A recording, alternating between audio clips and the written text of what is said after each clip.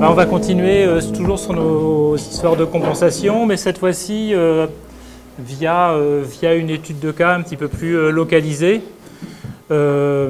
géographiquement, donc autour de, de sites miniers néo-calédoniens, et puis thématiquement autour d'enjeux miniers en fait. Mais le sujet sera plus la compensation que la question de la gouvernance minière, vu la thématique des journées. Alors, ce que je vais vous présenter, ça sort d'un programme, et ce n'est pas inutile de le rappeler parce que c'est un programme qui a à voir avec des choses qui ont été dites lors des précédents exposés, mais un programme qui s'appelait NERVAL. Donc, cet acronyme poétique veut dire négocier, évaluer, reconnaître la valeur des lieux. Et c'était un programme qui tournait autour d'une, bah, d'abord d'une demande des, entreprises minières autour de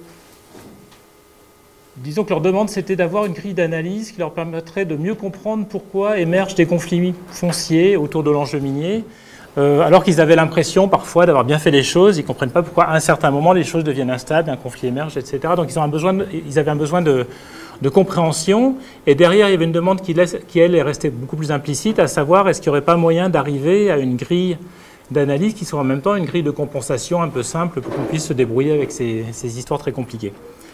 Donc, euh, on, donc on est en plein dans le sujet. Donc le, progrès, le programme de recherche, lui, a justement a, proposé un détour plus recherche autour du fait que bah, la valeur des lieux, c'est quelque chose qui est plus compliqué que le prix de la terre, évidemment, que les conflits peuvent naître euh, aussi des critères que chacun utilise pour donner une valeur à un espace ou un territoire.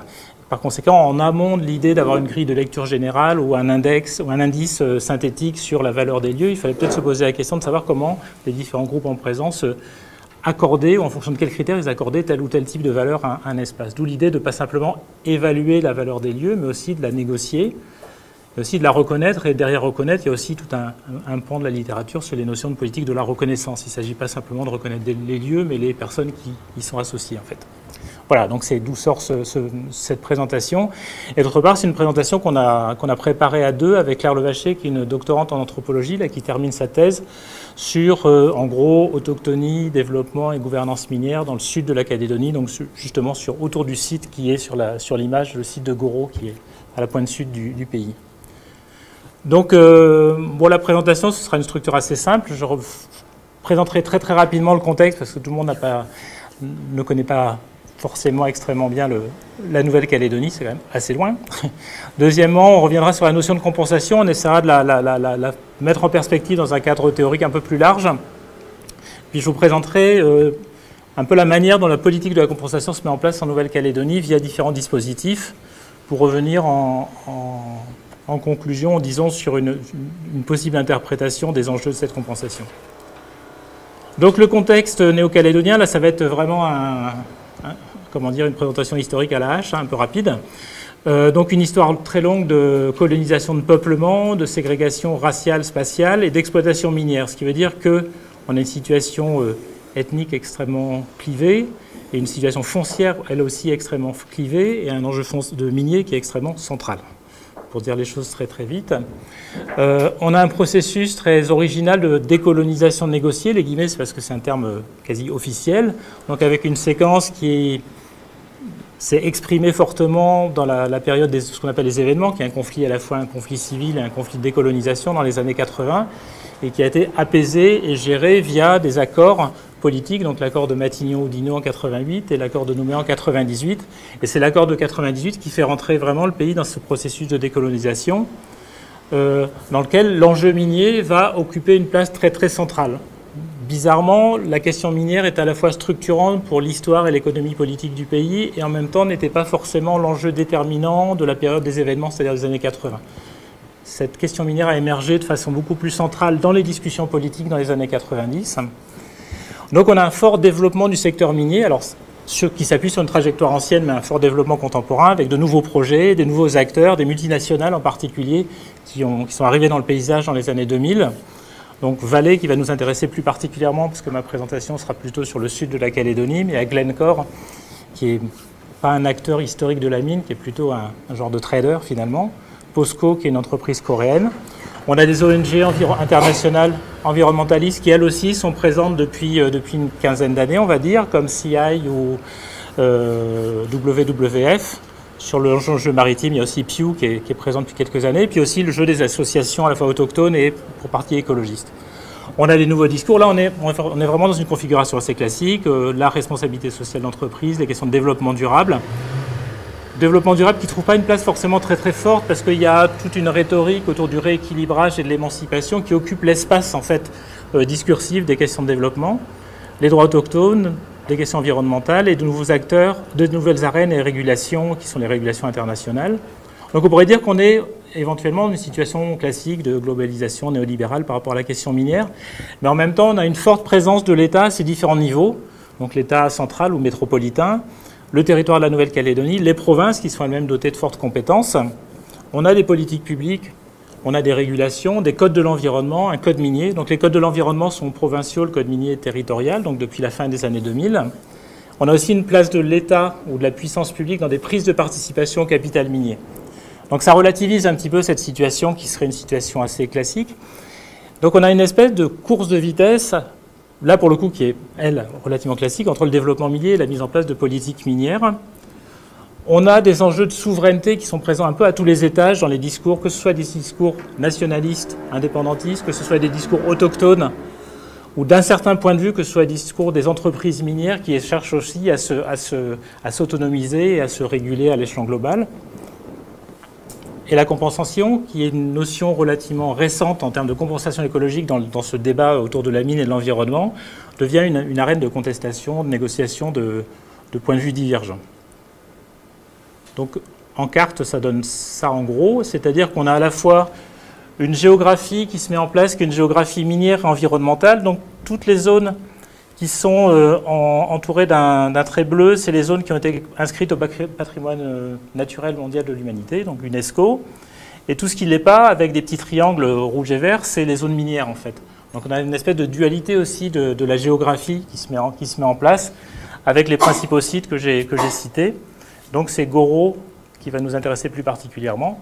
Et on a donc cette provincialisation avec des provinces dotées de compétences euh, très élargies en matière de développement, d'environnement, le code de l'environnement est provincial, etc. Bon voilà, voilà pour le contexte très rapidement. Euh, pour revenir à la question de la compensation, on ne va pas tout à fait l'aborder euh, comme elle l'a été par, Alain et dans, les, discours précédents. bon, D'une part, ce terme il vient du langage courant, on l'a dit ce matin en introduction. Il y a l'idée très simple et qui est très, euh, comment dire, l'idée au sens strict, à savoir euh, une réparation ou, un dédommagement. Euh, il y a un sens figuré, et comme le dit Colin Filer, ça peut correspondre à un peu n'importe quel type de paiement en fonction de l'interprétation qu'on en fait. Bon, ça c'est pour poser le débat de façon molle et large. après, ce qui est... Ah, c'est c'est pas grave. Après, ce qui est intéressant, c'est que le terme de compensation, alors là, on s'écarte totalement des questions de compensation écologique et de offsetting, etc. La compensation, c'est un sujet extrêmement ancien dans l'anthropologie sociale océaniste, en particulier concernant la Mélanésie, et plus particulièrement Papouasie-Nouvelle-Guinée, mais aussi euh, Salomon, Fidji, etc., et Nouvelle-Calédonie. C'est que la compensation, c'est un mécanisme social extrêmement répandu qui renvoie à des enjeux de réciprocité. Euh, c'est une façon de faire fonctionner les, les relations de mariage, les résolutions de conflits, etc. Donc le, mot de la compensation, la notion de compensation est totalement présente dans le paysage. Ça c'est extrêmement important parce que quand elle arrive plaquée via des mécanismes extérieurs, euh, la notion globale rencontre euh, un usage qui n'a pas grand-chose à voir ou peu euh, à voir avec l'idée que s'en font peut-être les gens qui mettent en place ces mécanismes nouveaux de compensation. Donc c'est via en particulier des questions on va dire, entière au sens large, que, la notion de compensation locale, mélanésienne, on va dire, rencontre la compensation globale via les enjeux de royalty, de rente minière et rente foncière, euh, avec le développement très fort, mais là pour la Calédonie c'est un petit peu particulier, ça ne rentre pas tout à fait dans ce schéma-là pour des raisons qu'on va voir tout à l'heure, euh, mais c'est beaucoup plus clair par exemple en Papouasie-Nouvelle-Guinée, c'est qu'autour de l'implantation de projets miniers se met en place ou émerge une idéologie extrêmement propriétariste de la part des clans locaux qui... Euh, qui est à la fois euh, construite via le fait que les entreprises minières, quand elles, arrivent, elles essaient de comprendre qui est qui, c'est-à-dire qui est propriétaire de quoi pour éventuellement justement les dédommager, c'est-à-dire rentrer dans cette logique de compensation via divers versements de rente. Et inversement, les populations locales se mettent aussi, se en quelque sorte en ordre de bataille par rapport à, ce, à cet enjeu euh, euh, de propriété foncière. Donc, ce qui veut dire que la participation politique des acteurs par rapport à ces enjeux de compensation peut se faire dans leurs propres termes, c'est-à-dire via leur façon de mettre en discours leur appartenance, leur lien à la terre, etc. mais peut se faire aussi via des idéologies et des façons de faire qui sont empruntées, c'est-à-dire cette idéologie propriétariste foncière qui peut se mettre en place. Et le troisième axe, c'est qu'on a un sujet qui est nouveau via les politiques publiques, la sociologie des sciences, puisqu'on l'a dit, la, question de la mobilisation de l'expertise scientifique est centrale dans les questions de compensation. Donc cette notion de compensation écologique, qui renvoie au qui, quoi, ou comment, là je ne développe pas parce que ce sera un peu le sujet, et qui renvoie aussi à des formes de tension, enfin à des tensions entre différentes formes de naturalisation, marchandisation, socialisation de la nature. Voilà, la question de la compensation, euh, elle se situe un peu à la jonction de ces trois grandes façons de définir la, définir la question. Alors, l'idée ici, c'est de situer cette question de compensation, l'enjeu que représente la compensation par rapport à un, un, canevas théorique que je vais présenter de manière extrêmement euh, schématique. Mais on peut dire d'un côté, la compensation, ça peut être une affaire de gouvernementalité, à savoir, ça renvoie à des enjeux de mesure, de contrôle, de gouvernement de la nature et des populations via différents instruments, dispositifs. Euh, la compensation, ça renvoie aussi à une manière, si on l'interprète en termes de gouvernementalité, une manière de problématiser un champ d'action comme un enjeu public de gouvernement. Donc c'est des enjeux de qualification, il y a des enjeux de discours légitimement. Il y a quelque chose de très très frappant pas forcément de manière très très nette en Nouvelle-Calédonie, mais ça a été relevé dans d'autres contextes, en particulier à Madagascar, mais aussi en Papouasie, espèce de mimétisme dans les discours entre les, firmes, minières et les ONG environnementales, les firmes minières, comment dire, plaquant sur leur euh, discours légitimement un discours qui est purement environnementaliste, euh, via la compensation, la mise en place de différents projets. Donc il y a cette, cette logique de mimétique qui est très très forte aussi dans la façon de construire l'enjeu le, de la compensation. Mais bref, la compensation peut être vue au prisme de cette idée d'un contrôle gouvernemental, au sens de gouvernementalisation, sur, sur des espaces ou des populations. Mais en même temps, et là on revient à cette idée que la compensation c'est aussi un terme local en quelque sorte et qui renvoie à d'autres mécanismes sociaux, c'est aussi une affaire, de une affaire politique en fait, une affaire de reconnaissance des populations locales, donc le droit à la parole, à la participation, la politique au sens strict du terme. Et ça renvoie à des enjeux de définition de la citoyenneté, de la souveraineté, et on peut poser, bon là c'est à la suite d'un canevas proposé en particulier par l'anthropologue Taniali, mais on peut proposer l'idée de la politique comme limite à la gouvernementalisation. C'est-à-dire une espèce de tension un peu fondatrice entre un projet gouvernemental et, la politique comme prise de parole face à ce projet gouvernemental. Parenthèse, gouvernemental au sens strict du terme, qui implique autant euh, des États, des puissances publiques que des entreprises multinationales ou éventuellement même des ONG internationales qui de ce point de vue-là fonctionnent assez, euh, de manière extrêmement similaire. Donc de ce point de vue-là, la compensation minière, ça devient une arène de conflit de négociation qui renvoie à la fois à des questions de délimitation, de mesure, de calcul, éventuellement de marchandisation, éventuellement de financiarisation. Donc est-ce que c'est de ce point de vue-là une procédure gouvernementale, une fois de plus au sens large du terme ça renvoie aussi à des enjeux de négociation locale, de revendication, d'opposition. Donc là, on peut se demander si c'est un objet politique. Donc c'est cette tension-là, en fait, qui est un peu constitutive de la manière dont la compensation se met en place en Nouvelle-Calédonie, mais pas seulement en Nouvelle-Calédonie. Donc pour être plus concret sur les politiques compensatoires, euh, bon, on retrouve un peu les, disons, la, la gamme ou la panoplie d'outils habituels. On a des approches qui sont négociées de type euh, Impact and Benefit Agreements. Alors je sais que la traduction pour les Canadiens, c'est des ententes sur les répercussions et les avantages. J'ai un doute sur le fait que ce soit une expression employée dans le monde francophone français. Mais peu importe, vous voyez l'idée. Donc euh, des, accords sur le partage des bénéfices, mais en même temps sur, la question des impacts. Donc ces approches négociées, on les retrouve en particulier euh, avec le pacte de développement du Grand Sud qui concerne justement le projet Goro mené par un industriel brésilien, donc euh, Valley. Il y a un très très gros projet d'extraction du nickel, mais aussi de transformation du nickel via un procédé euh, hydrométallurgique dont la mise au point a l'air un petit peu euh, compliquée. Dans ces approches négociées, on a aussi une convention pour la conservation de la biodiversité qui a été signée entre la province sud et la même entreprise Vallée. Donc ce qui est intéressant, c'est que là, on a deux mécanismes sur le même site, donc ça, on y reviendra. Et puis, sur un site comme celui de Thio, qui est un site très ancien d'exploitation minière, s'est mis en place euh, lors de conflits récents une association qui euh, gère en quelque sorte des enjeux de compensation face à une entreprise qui elle-même est historique et pas une multinationale, qui est la SLN, la Société Le Nickel, qui est une entreprise historique en Calédonie, mais qui est en même temps une filiale de Eramet, qui lui est un groupe basé en France, mais qui est un groupe multinational en quelque sorte. Alors on a des approches par, par différentes régulations. Donc je l'ai dit tout à l'heure, la puissance ou la présence de l'État en Nouvelle-Calédonie est, relativement forte. donc il y a un code de l'environnement avec qui prévoit des. Donc là je ne l'ai pas mentionné, mais là je comment dire, je m'intéresse au code de l'environnement de la province sud. Celui de la province nord, de ce point de vue-là, n'est pas extrêmement différent. Il y a peut-être celui de la province des îles Loyauté qui est en train de se mettre en place, qui présente vraiment des, très très fortes originalités, mais là, les deux premiers n'étaient pas. Euh, la seule originalité du code de l'environnement de la province sud, c'est un refus euh, qu'on pourrait qualifier d'un peu hystérique de mentionner le mot kanak et le mot coutumier dans le texte. Par ça, euh, il n'est pas d'une originalité folle. Ça, c'est original dans le contexte calédonien. Toujours est-il que les questions de compensation sont présentes euh, par rapport aux enjeux d'infrastructures industrielles, par rapport aux enjeux de permis de défriche dans les périmètres de projets miniers en particulier, mais que l'approche, elle se fait via, au fond, les coûts de la compensation. C'est combien ça coûte de remettre en, végétation euh, un espace donné, pas du tout par rapport à des questions d'équivalence écologique, par exemple. Et puis elle est basée sur une classique doctrine ERC, éviter, réduire, compenser, très linéaire avec tous les guillemets qu'il faut, parce qu'on sent bien qu'à certains moments, il s'agit de passer outre la première étape pour passer à la suite. Donc c'est pas si linéaire que ça. Euh, le code minier a été mis en place en 2009.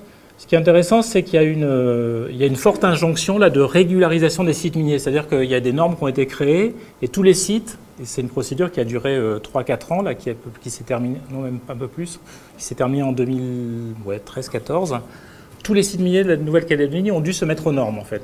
Et dans cette mise aux normes, on est passé euh, en particulier à l'idée qu'il faut une autorisation pour exploiter, ce n'est pas juste une information à la, direction des mines.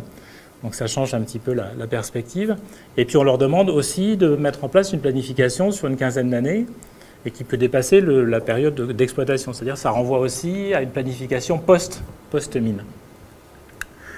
et il y a des demandes euh, d'études d'impact environnemental et d'actualisation de ces études d'impact environnemental en même temps, la question qui reste ouverte, euh, c'est la question des, études et des suivis d'impact social qui sont extrêmement négligés ou très absents en fait, des textes, des textes de régulation. Et puis, c'est en train de se mettre en place ce qu'on pourrait appeler une approche volontaire via un groupe de travail. Là, pareil, j'y reviendrai plus en détail. Mais euh, là, pour le coup, c'est une initiative des services miniers environnementaux, donc de la Calédonie pour la mine et des provinces pour l'environnement, et qui ont mobilisé des scientifiques, des biologistes des écologues pour mettre en place une, en quelque sorte une doctrine de la compensation. Donc voilà, on a ce panel de, politiques compensatoires sur, euh, sur un territoire qui n'est pas extrêmement grand. Euh, donc on va essayer de passer en revue les différentes façons dont la compensation se négocie ou se mesure localement. Euh, je commence par la négociation parce que historiquement, au fond, c'est comme ça que ça s'est passé. Et historiquement, ça s'est passé autour d'une compensation qu'on va appeler sociale, même si on, j'aurais pu mettre socio-environnementale, parce que les questions environnementales sont extrêmement présentes aussi dans ces conflits locaux. Donc là, je ne passerai pas en détail ou en revue les, conflits, mais pour les, sites qui nous intéressent en province sud, donc Thio et Yaté, il y a eu une récurrence de conflits très localisés, et parfois, et il y a eu quelques exemples en tout cas de gros conflits, euh, qui ont abouti à des arrangements, c'est-à-dire à, à des accords locaux, donc j'ai cité tout à l'heure le pacte pour le développement du Grand Sud à Yaté, qui est vraiment un exemple un peu paradigmatique pour la Calédonie, euh, qui est très classique par rapport à, la gestion des conflits euh, mines, population locale de par le monde. C'est devenu presque un mode de gouvernance minière. C'est ce moment de, tension qui aboutit à un accord et qui permet euh, un petit peu en, mettant un peu entre parenthèses la puissance publique, en fait, elle n'est pas si entre parenthèses que ça, qui permet à l'industriel de négocier un certain nombre de, points avec, les populations locales. Euh, à Thio aussi, il y a eu des accords locaux qui n'étaient pas euh, emballés dans cette rhétorique autochtone ou de la responsabilité sociale d'entreprise, parce qu'ils arrivaient un petit peu avant, mais au fond, ils prenaient une forme assez semblable. Ce qui est intéressant, c'est que ces accords, en fait, justement, ils sont beaucoup plus globaux que l'idée de compensation écologique le permettrait en quelque sorte. évidemment, peut les, on peut les interpréter de différentes façons, et ils sont un peu tout ça à la fois, mais il s'agit de partager une rente, d'accéder à une rente ou à une part de la rente via des emplois locaux, via le développement d'une sous-traitance locale. Euh, ça, c'est un des points, des points importants. Mais en même temps, il s'agit de restaurer un certain nombre d'équilibres qui sont des équilibres environnementaux. Donc il y a des demandes vraiment de réparation de dommages, très clairement. Et la trajectoire de la revendication euh, indépendantiste, euh, avant même d'être autochtone, kanak à partir des années 70, est très fortement liée aux dégradations causés par l'activité minière. Donc cette, question environnementale, elle est très présente, mais elle n'est pas, euh, comment dire, enrobée dans un langage environnementaliste en fait. Elle commence seulement à l'être depuis une dizaine d'années. Et en même temps, il y a des équipes sociaux à restaurer, c'est-à-dire que ce qui est demandé aussi aux entreprises, c'est aussi de quelque part de, participer au fonctionnement local, à la citoyenneté locale. Alors à partir de là, évidemment, il y a un, enjeu, qui peut être un, peu, un, peu, conflictuel, mais qui est un enjeu central, c'est la localisation de la compensation, ou la négociation de l'enclave minière et de ses frontières, de l'étanchéité de ses frontières et, de son extension. Donc euh, où est-ce que ça se situe? Est-ce que ça se situe sur le site minier où il s'agit simplement de faire de la restauration des espaces dégradés? Est-ce que la commune devient une entité pertinente? Et ça, c'est intéressant, c'est que la commune a très peu de pouvoir et de moyens en Nouvelle-Calédonie, parce qu'elle est un peu écrasée par le dispositif provincial. Et en même temps, on s'aperçoit qu'elle prend une espèce de consistance historique, elle devient un, territoire de référence fort pour les populations locales. Mais il y a d'autres territoires de référence, c'est-à-dire les zones d'influence clanique, les réseaux de chefferie. Donc on voit que l'extension la, et la localisation de la compensation, ça peut faire l'objet de, de points de vue extrêmement euh, divergents localement. Ça renvoie aussi à des questions évidemment d'appartenance. Donc c'est quoi le collectif qui va être bénéficiaire de la compensation? Euh, Ça renvoie aussi à la définition de la firme comme, comme acteur local éventuellement. Et c'est euh, en quelque sorte, euh, enfin j'allais dire si on décrypte bien la rhétorique locale, mais il n'y a pas besoin de la décrypter longtemps, c'est assez transparent, il y a vraiment une demande de la part des populations locales qui s'organisent de différentes façons, mais une demande à ce que les, les entreprises, comment dire, sortent un peu d'un discours un peu global et parfois un peu évanescent de responsabilité sociale d'entreprise pour entrer dans une, posture de citoyenne locale, en particulier quand ce sont des entreprises qui ont une histoire longue en fait en Nouvelle-Calédonie comme, la SLN. Donc ce qui se joue en fait autour de cette compensation, la prise dans un sens très très large, c'est pour ça qu'au début dans la diapo sur le, champ sémantique de la compensation, j'ai pris aussi cette acception extrêmement large parce que c'est celle qui permet aussi à ces, à ces négociations de se faire. Euh, il s'agit de négocier pas simplement la restauration de l'environnement fortement dégradé, même si l'enjeu là est très présent, mais il s'agit de négocier des formes de citoyenneté locale, des formes de souveraineté locale, qui peuvent être phrasées en termes d'autochtonie, mais pas, pas forcément. C'est-à-dire la dimension communale, la citoyenneté locale à l'échelon communal, c'est aussi une façon de... Ça se voit dans les textes, les, cahiers de doléances et les textes des accords négociés entre entreprises et, et populations locales. Il y a vraiment un enjeu de reprise de contrôle à la fois sur les ressources, sur le territoire et sur, les trajectoires des gens eux-mêmes, c'est-à-dire sur, eux-mêmes en fait. Donc c'est en ce sens-là qu'on est vraiment dans une logique de souveraineté. Et, le fait qu'émerge en ce moment justement, au-delà des logiques qu'on pourrait imaginer entières, le fait qu'émerge aussi un débat porté entre autres par des organisations autochtones sur la fiscalité locale liée à la mine, ça, je trouve que c'est un élément assez intéressant sur justement cette idée qu'on est vraiment aussi dans un discours de souveraineté localisée qui pose des problèmes aussi par rapport au positionnement des partis indépendantistes qui sont sur une autre échelle, à savoir celle du, celle du pays. Alors du côté de la compensation écologique, il y a, euh, bah, je l'ai dit tout à l'heure, il y a une convention pour la conservation de la biodiversité.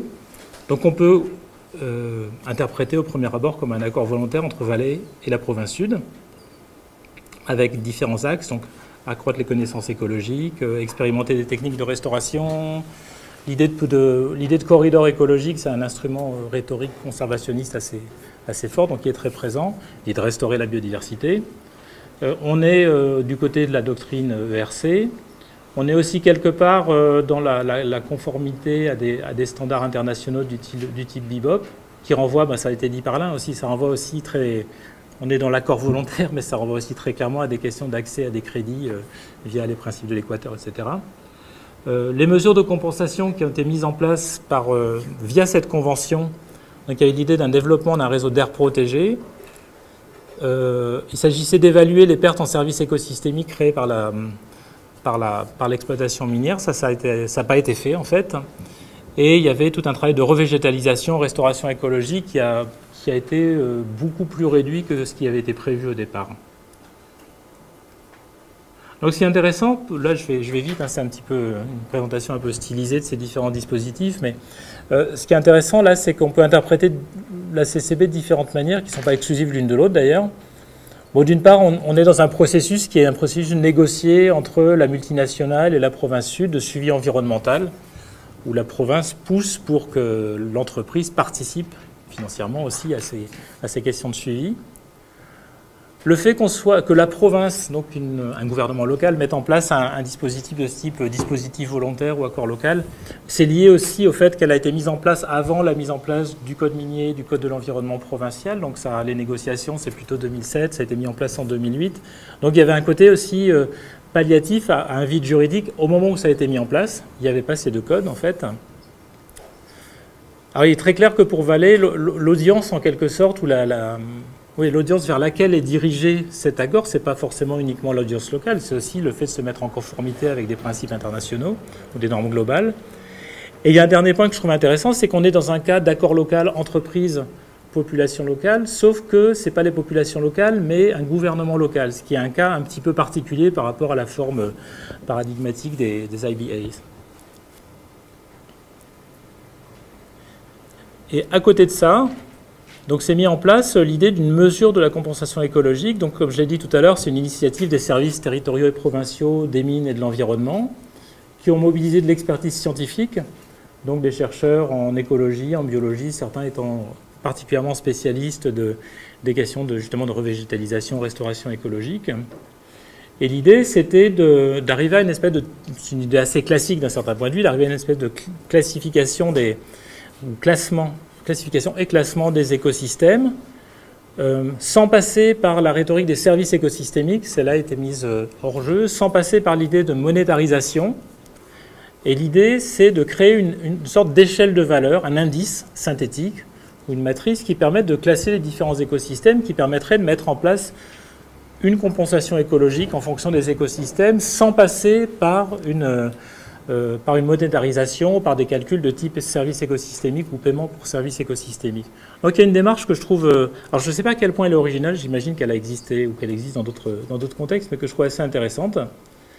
Euh, ce qu'on peut dire, c'est qu'il y, a évidemment des limites à l'exercice. C'est les limites en particulier exprimées par les, par les chercheurs avec lesquels on a fait des, entretiens. D'une part, les, paramètres qui ont été mobilisés pour créer cet indice sont des paramètres très très pauvres donc c'est la diversité biologique, c'est euh, la rareté des différentes espèces concernées, c'est le taux d'endémicité. Donc c'est des paramètres plutôt, plutôt statiques, plutôt ponctuels. Et rien n'est dit sur les questions, la dimension fonctionnelle des écosystèmes. c'est ça qui est important au fond, d'un certain point de vue. Et, euh, les scientifiques interrogés disent que pour, au stade actuel des connaissances, on n'est pas en état de le faire, on n'est pas en, tout cas en état de construire un indice synthétique à partir de ce genre de données. Donc forcément, c'est quelque chose de très très squelettique. Euh, et puis après, il y, a, un aspect ambigu, c'est que toute la démarche est autour du fait de mobiliser une expertise scientifique pour créer un instrument technique.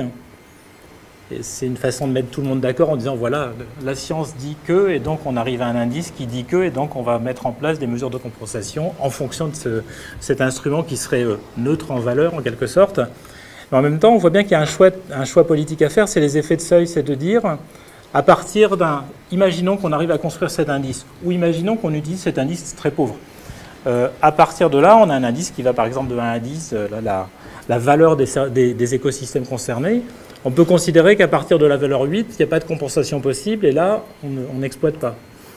Donc c'est ce genre de choses qui, restent encore très implicites et qui n'ont pas, encore, euh, pas encore abouti dans cette discussion. Donc le repassage pas le repassage, le passage, on va dire, au choix politique, il n'est pas encore euh, clairement ni défini ni assumé, en fait.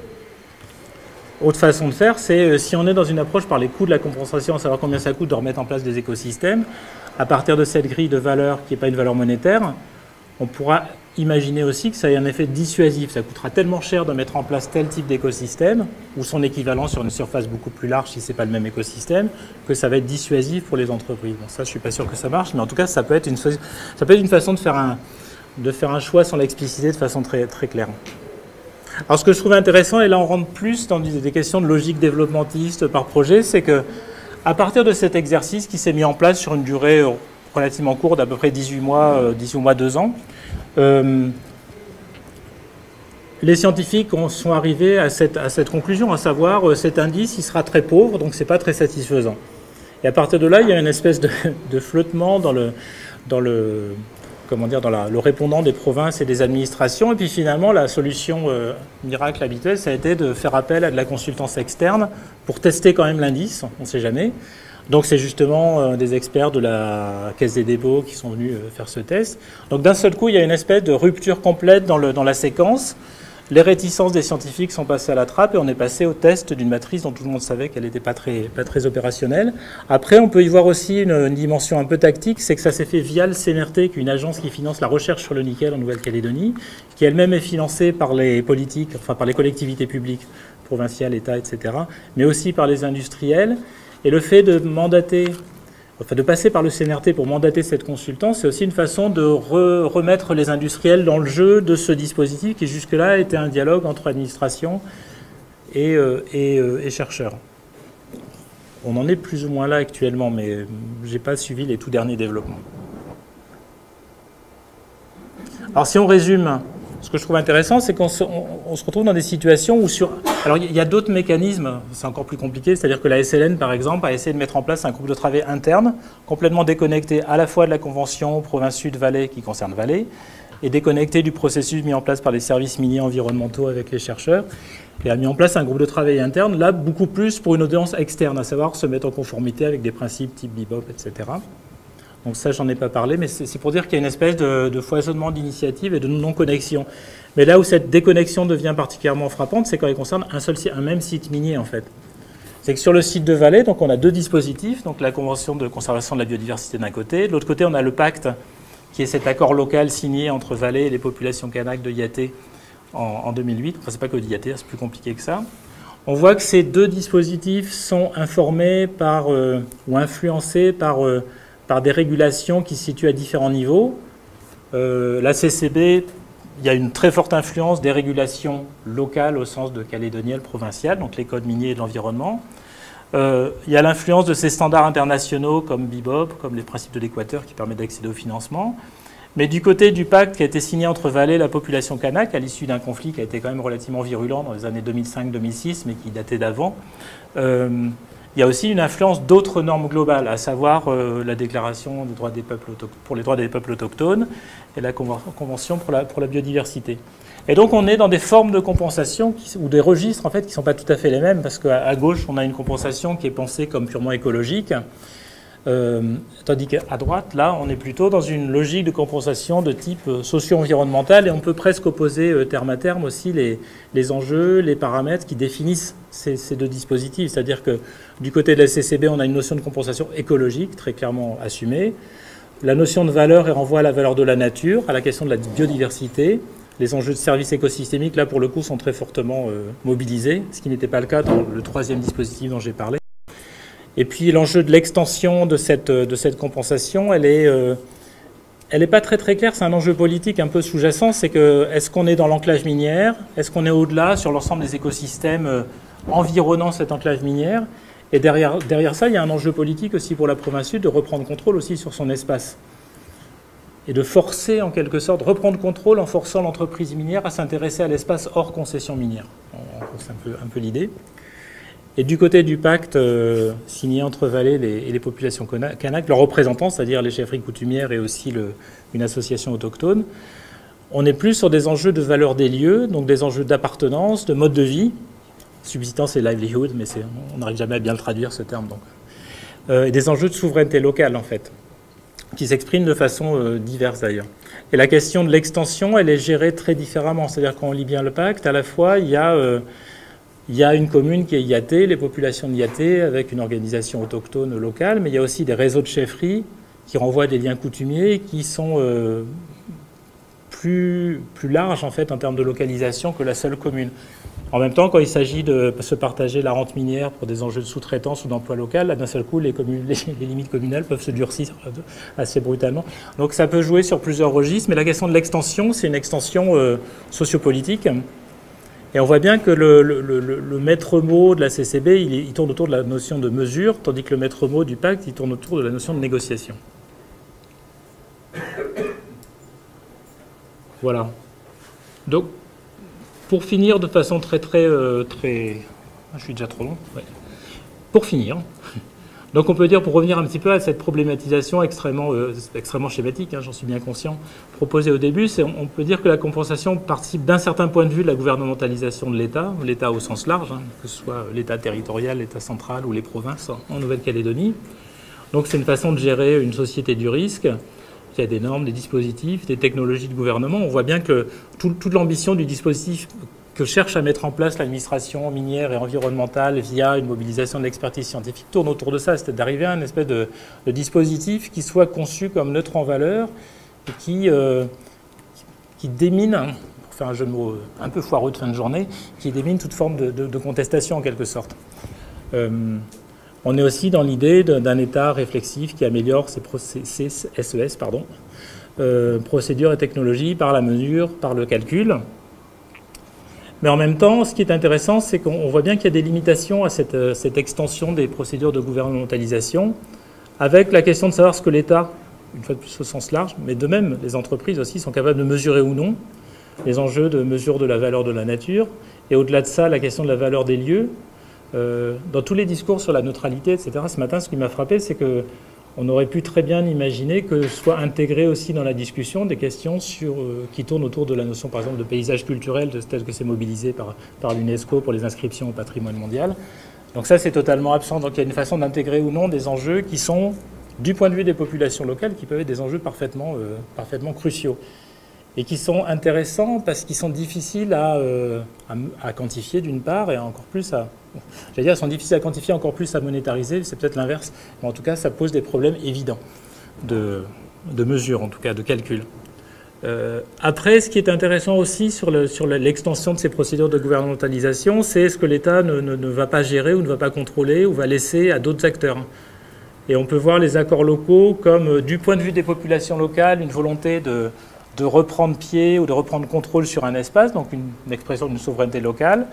Euh, on peut voir ça du point de vue des entreprises minières comme une façon de court-circuiter l'État pour s'implanter localement face à des acteurs qui sont supposés être plus faibles qu'un État. Alors ce qui n'est pas toujours sûr parce qu'il y a aussi des capacités de mobiliser des réseaux globaux. Donc euh, il y a quelques entreprises qui en fait la meilleure expérience comme euh, BHP à, à en Papouasie. enfin la meilleure expérience après avoir dévasté le pays. Mais, donc voilà, et, du point de vue de l'État, on peut imaginer que ces accords locaux soient euh, une espèce de forme de, euh, de, laisser-faire local par rapport à des enjeux qu'on a du mal à, contrôler. En fait, ce n'est pas tout à fait vrai, parce que dans le cas de l'accord, euh, le pacte, la province sud a essayé en permanence de rentrer dans le jeu. Elle n'est pas complètement absente du jeu, elle est là en creux. Les accords politiques, Nouméa, Matignon, sont là aussi en creux, ils sont mis en référence du pacte. Mais, mais quand même, il y a cette idée-là qu'il y a des espaces de négociation locales que l'État laisse ou n'arrive pas, laisse en dehors de son contrôle ou n'arrive pas à contrôler.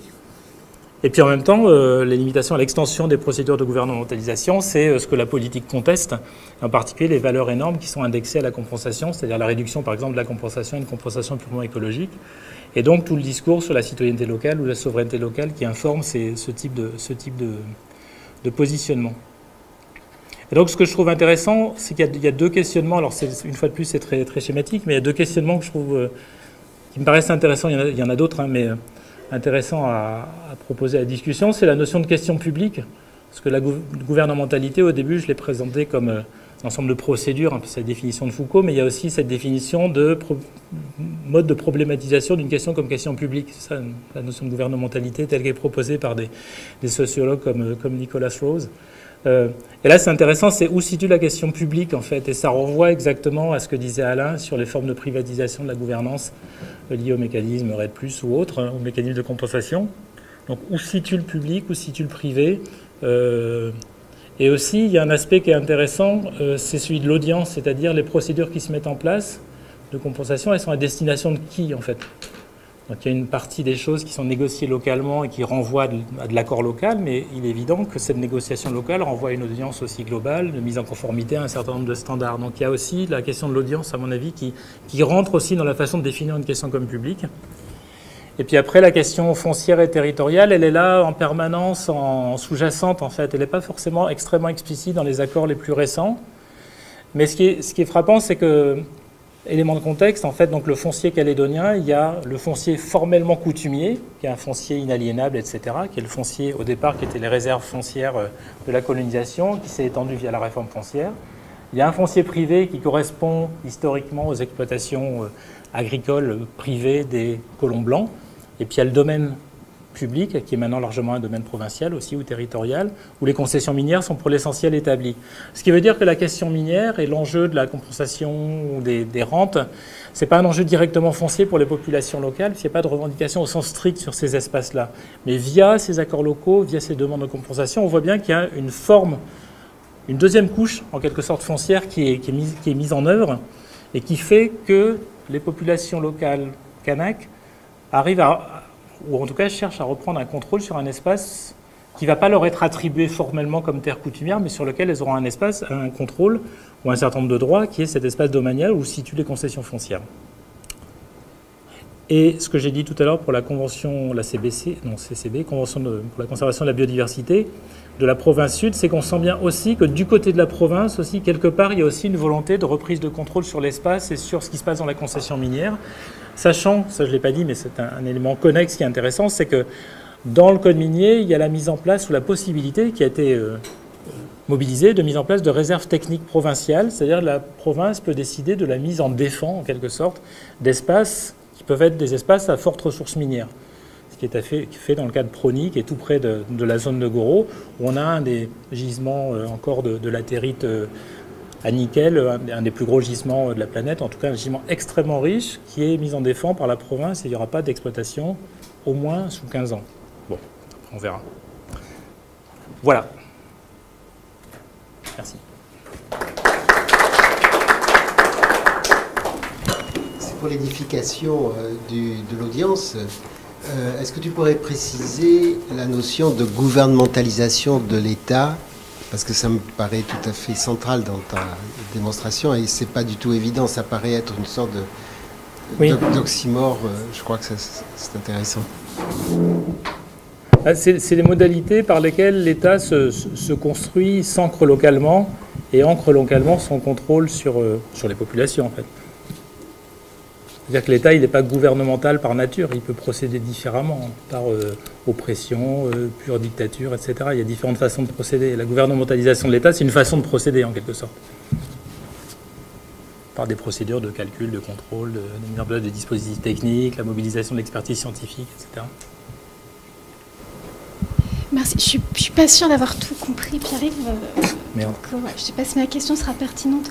Mais en fait, dans, tout ce que tu nous as dit, je me demande euh, vraiment, j'ai pas très bien compris quelle avait été l'action, s'il y en avait une, euh, des citoyens tout simplement. Tu as beaucoup parlé des, administrations, à différentes échelles, de la province, des entreprises, mais au niveau des actions euh, des acteurs, enfin des citoyens, j'ai pas très bien vu en fait quels avaient été leurs moyens d'action en fait. Voilà.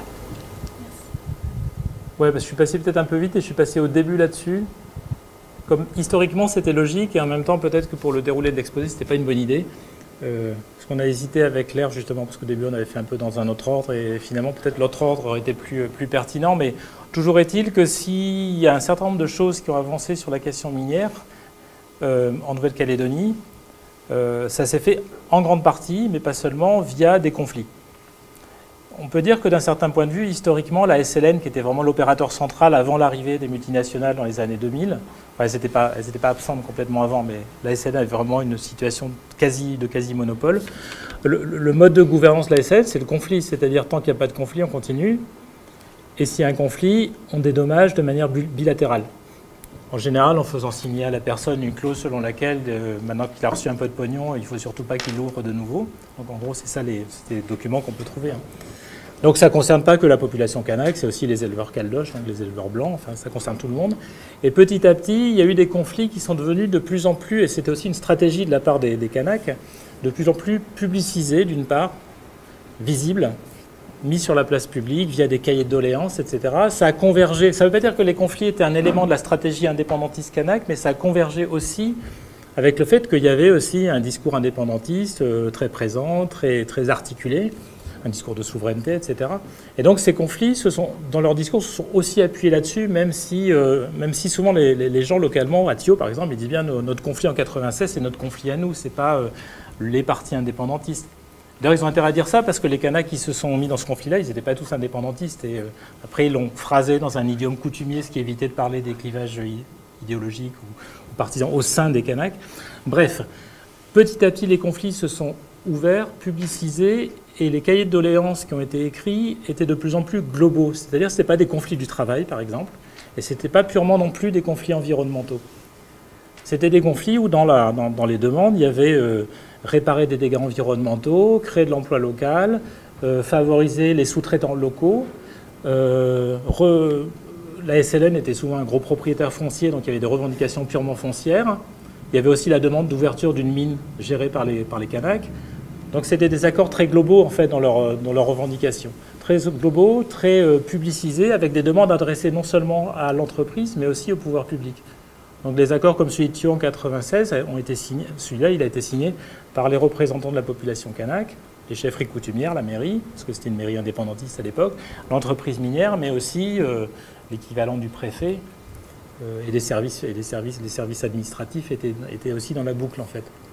Donc ce rôle des populations, c'est ça, c'est des conflits qui ont débouché sur des négociations, qui ont débouché sur des accords.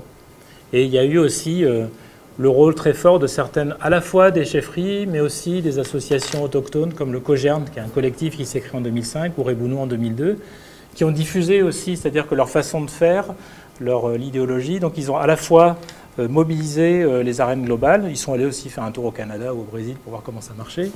Donc ils ont créé aussi du réseau global et ils ont aussi diffusé localement via différents canaux qui peuvent être relativement indépendants des partis politiques indépendantistes en fait. Même si c'est parfois les mêmes personnes. après, il y a des trajectoires individuelles, je ne vais pas rentrer dans ce détail-là. Mais en tout cas, c'est le rôle des, citoyens, en fait, c'est les citoyens kanak euh, essentiellement. Alors il y a eu aussi des moments d'alliance assez intéressants à voir. Dans le cas de Goro, il y a eu des, alliances objectives entre autochtones kanaks et euh, des associations écologiques qui étaient plutôt gérées par des Européens ou des Blancs, peu importe la catégorie raciale ou, crypto-raciale, parce que Européen c'est quand même une catégorie raciale quand on y pense. Bref, euh, avec des moments d'alliance objective et puis après, des moments où les écologistes se sont fait éjecter de la négociation parce qu'ils étaient sur une posture très écologique euh, un peu radicale et que les Kanaks, ils voulaient aussi euh, négocier une compensation qui soit aussi économique, sociale, etc., de la sous-traitance. Donc c'était aussi des relations qui n'ont pas été des relations simples en fait. Euh, alors, sur, sur ce qui m'interpelle, c'est que tu, tu, présentes effectivement, à un moment donné, c'est dans tes derniers transparents, en disant finalement on est resté sur des principes d'équivalence extrêmement simplistes, euh, avec un système ordinal plutôt que cardinal, c'est-à-dire qu'en gros on n'a pas calculé les valeurs, on a simplement euh, mis par ordre hiérarchique l'importance euh, effectivement des, milieux, si j'ai bien compris en tout cas. Et tu dis d'ailleurs à un moment donné, finalement tu, tu dis,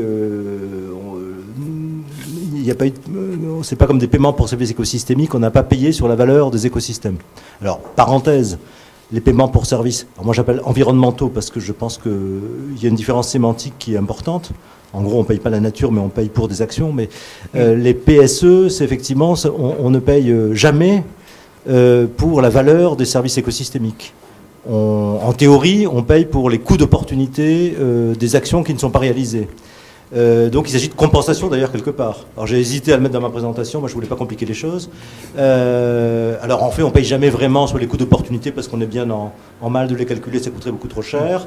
On peut éventuellement euh, faire varier les paiements, euh, disons un peu plus si justement il y a des zones plus importantes que d'autres du point de vue écologique, etc. Mais en fait, on, ce que je veux dire, c'est que la, question de, l'évaluation économique, qui est un exercice qu'affectionnent pas mal d'économistes et qui consiste à, y compris mesurer éventuellement des éléments de ce que tu appelles les paysages culturels, ça fait partie de ces fameux biens intangibles, de ces fameux effectivement valeurs intangibles qui vont être la valeur patrimoniale, d'identité, etc. de certains types de paysages.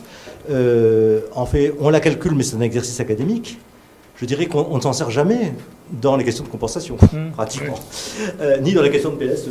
Euh, et en fait, euh, pourquoi? Parce que, d'abord, comme je l'ai dit dans ma première, dans mon pré transparent, même la jurisprudence américaine a renoncé à l'utiliser pour les réparations parce que c'est trop contestable, trop contesté, trop compliqué, trop cher. Donc finalement, on va effectivement préférer la restauration en nature, on va restaurer habitat pour habitat, etc., etc., et on ne va pas calculer la valeur des services écosystémiques.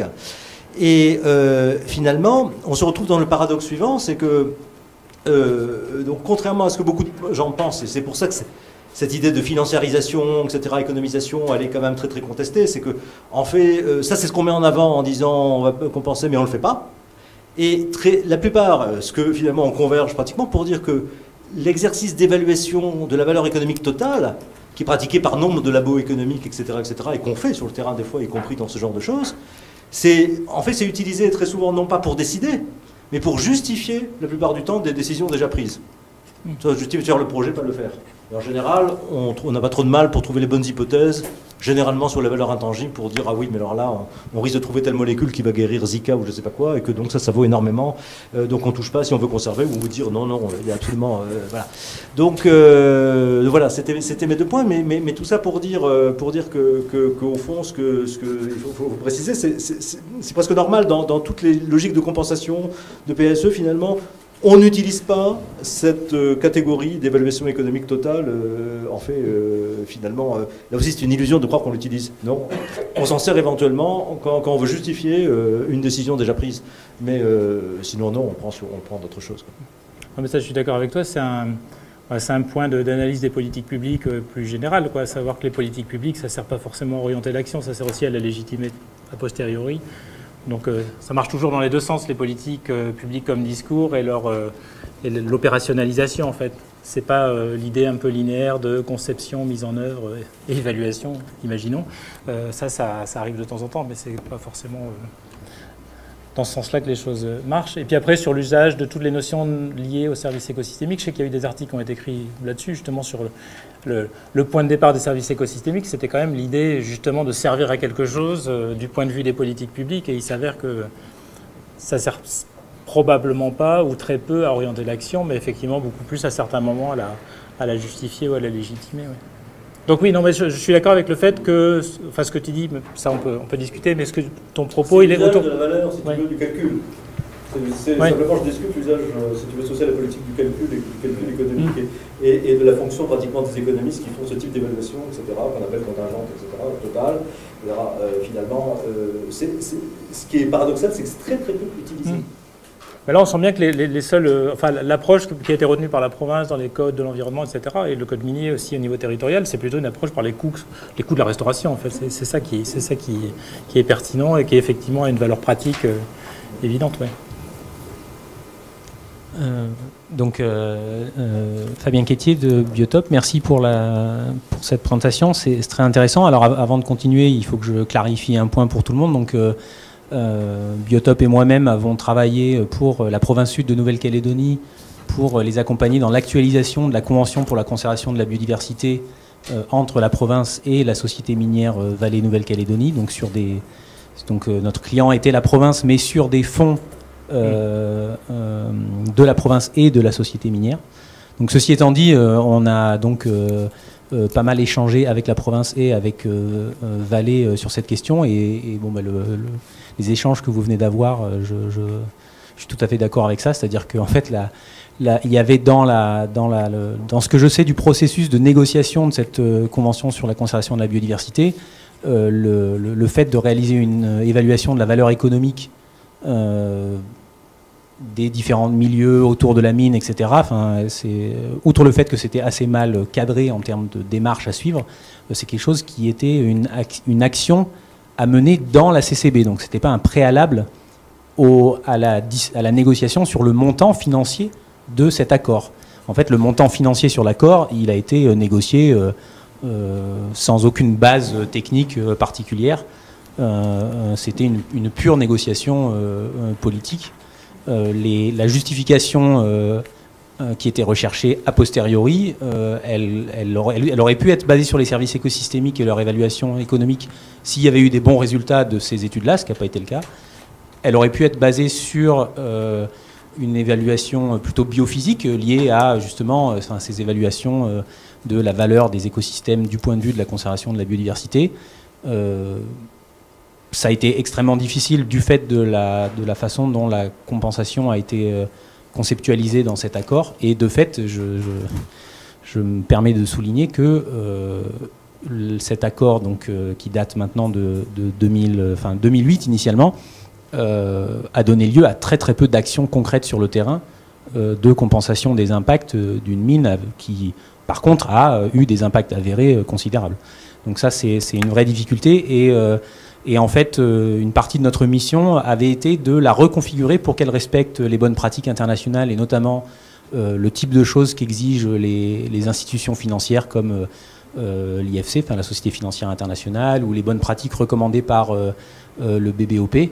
Et, que bah, à ce stade cette discussion elle est en on va dire en pause du fait que bah, respecter ces standards là dans un contexte comme la Nouvelle-Calédonie ça pose des questions extrêmement difficiles puisqu'il est question euh, d'atteindre ou de démontrer euh, l'atteinte d'un objectif d'absence de perte nette de biodiversité euh, qui se définit espèce par espèce, habitat par habitat. et ça, bah, dans, le contexte néo-calédonien, avec beaucoup d'endémismes, beaucoup d'espèces à distribution restreinte, c'est en fait extrêmement difficile à faire. Et les impacts de la mine sont, considérables sur certains habitats bien particuliers.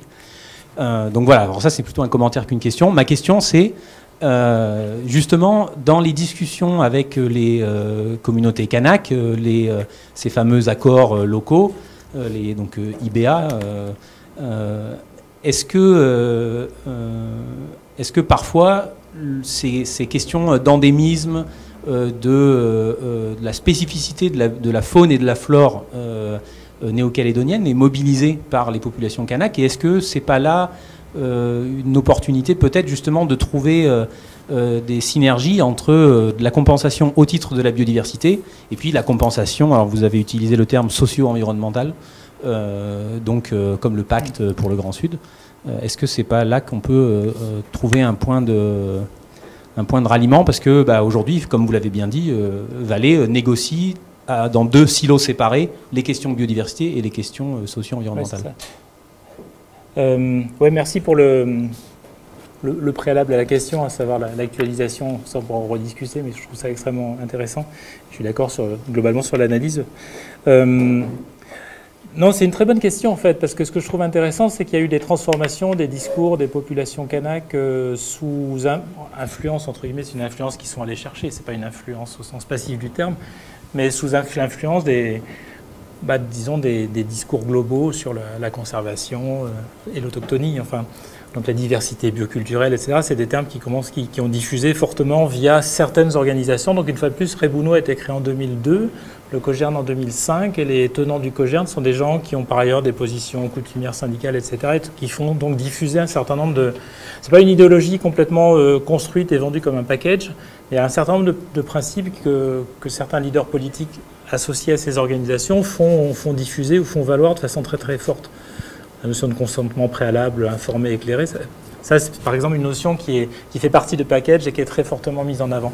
Toujours est-il que ce que je trouve frappant, c'est que là récemment, là j'en ai pas parlé, c'était encore autre chose, mais il y, a eu des, il y a eu une tentative de redémarrage de l'exploitation minière sur la côte euh, sud-est, entre Thio et Yaté, justement, dans une zone qui s'appelle la côte oubliée, parce qu'elle n'a pas du tout desservi en termes d'infrastructure, mais c'est une ancienne zone minière. Ça s'est arrêté dans les années 80, suite en particulier à certains conflits euh, parfois très violents, qui tournaient beaucoup autour d'enjeux environnementaux, mais pas seulement. On avait déjà le mix euh, environnement et rente minière. Bref, là, les entreprises sont un peu euh, à la recherche de, nouveaux gisements ou d'anciens gisements à réexploiter, parce qu'il n'y a pratiquement aucun nouveau gisement en Nouvelle-Calédonie, ils ont tous été exploités à un moment donné. Euh, et en fait, les entreprises minières ont essayé d'organiser des, réunions de concertation avec les populations locales pour essayer d'obtenir leur consentement, justement, ou le permis social d'opérer. Et euh, donc ça n'a pas bien marché. Bon, ils ont, je rentre pas dans le, détail, mais c'était assez intéressant la façon dont ils s'y sont pris en fonction de leurs historiques de, entrepreneuriaux. Donc il y a plusieurs entreprises impliquées. Mais toujours est-il que, au bout du compte, les organisations autochtones et chefferies locales ont déclaré un moratoire sur toute exploitation minière sur toute la zone pour au moins deux ans, le temps de réaliser un certain nombre d'études. Et les études ont été pour le moment essentiellement des études sur le patrimoine biologique, euh, la biodiversité, etc. Et se mettent en place aussi des études sur le patrimoine immatériel. Euh, de façon aussi à se prendre le temps de définir un plan d'action sur cet espace-là. Donc il y a vraiment une volonté de reprise de contrôle sur l'espace. Et là, dans cette volonté-là, il y a la mobilisation d'une expertise biologique, écologique, etc. Donc on peut très bien imaginer que cette question, par exemple, des espèces endémiques puisse, puisse apparaître. Mais au fond, l'endémicité, c'est pas tellement... Euh, c'est pas le sujet au fond pour, pour, les gens localement, c'est plutôt quelles sont les espèces importantes, emblématiques, qui ont des valeurs rituelles, etc. Donc les gens vont plutôt discuter de la tortue, d'un certain nombre de requins, pas tous. Euh, c'est plutôt ça qui fait sens, c'est les espèces qui ont, qui ont, une vraie signification. L'endémicité, euh, c'est une, une, variable qui est forcément vue de très loin. Localement, le fait que ce soit endémique ou pas, finalement on s'en tape un peu. Quoi. Par contre, la rareté, ça peut être un enjeu si, si la rareté augmente. Euh, donc, euh, donc là, la difficulté, ça va être là encore de, trouver un point d'accord entre un point de vue très écologico-conservationniste, euh, très marqué ben, justement par ces enjeux de rareté et endémicité, avec un point de vue qui va être un point de vue local, qu'on peut appeler culturel si on veut, mais juste local en fait, et où la question de l'endémicité ne sera pas forcément au premier plan, et sera plus au premier plan des questions de c'est quoi l'usage ou l'importance en termes d'usage, c'est quoi l'importance en termes de signification de, des espèces animales ou végétales. Mais c'est un point intéressant à, creuser, ceci. Parce que d'un certain point de vue aussi, je peux repenser à la tortue, les administrations, des fois, se retrouvent prises dans des, espèces de dilemmes en termes d'incompétence, mais d'incompétence structurelle, où, euh, où il s'agit de... La tortue est une espèce protégée, sauf dérogation. Et dérogation, c'est pour des fêtes coutumières, donc des moments rituels importants. Donc on peut demander une dérogation. Et d'un seul coup, les services de l'environnement se retrouvent obligé de jouer un rôle d'expert coutumier ou d'expert culturel ou d'expert de la coutume kanak. en gros, ils sont quand même bien emmerdés et c'est très compliqué de définir si un événement est culturellement important, etc. Donc ces enjeux-là, ils sont, présents, mais plutôt sur, euh, ces questions-là, à savoir de, signification d'un élément de l'éco-sociosystème. J'aime pas du tout l'expression, mais là c'est pour faire vite. Cette histoire de la tortue, euh, on me l'a répété très souvent et c'est vrai que c'est un très bon exemple de cette difficulté-là. Mais en fait, par rapport à, la question, en tout cas, de la compensation au titre de la biodiversité, euh, euh, c'est une difficulté que, qu'on peut, qu'on peut avoir en Nouvelle-Calédonie, c'est qu'en fait, les, les, espèces de faune ou de flore et les habitats, les, types de végétation, etc., les écosystèmes qui sont vrais, pour lesquels la, Nouvelle-Calédonie réellement euh, et euh, euh, une zone de très très grande importance au niveau mondial, bah, typiquement, c'est pas les tortues en fait, ni les requins.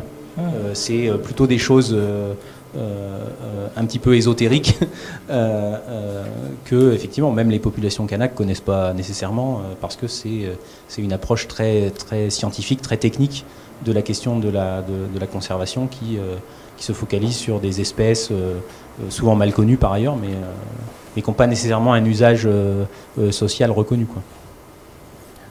Non, mais ce qui est intéressant, c'est justement, ça je suis d'accord avec toi, ça correspond à ce que je disais juste avant, mais en même temps, euh, les populations kanak se, mettent aux normes, ou en tout cas, c'est pas se mettre aux normes, mais utilisent aussi ce discours dominant aussi dans leurs négociations. Donc, d'un seul coup, si l'endémicité, ça devient un, levier qui peut être efficace dans une négociation, bah, on va parler d'endémicité.